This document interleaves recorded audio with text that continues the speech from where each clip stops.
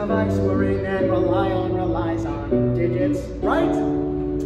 Zeros and ones. Yes, they're invisible. And zoom in enough and underneath are digits. Zeros and ones.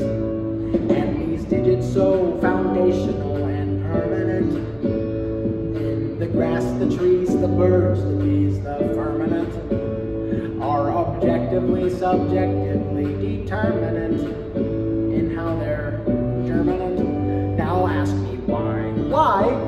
Well, these hidden matrices of digits, the phone displays as you and me, could just as well be re-encoded to any drift we wanna be. If we can look past what's explicit, we see that what's implicit has no limit, no limit, no limit. Cause anything is possible,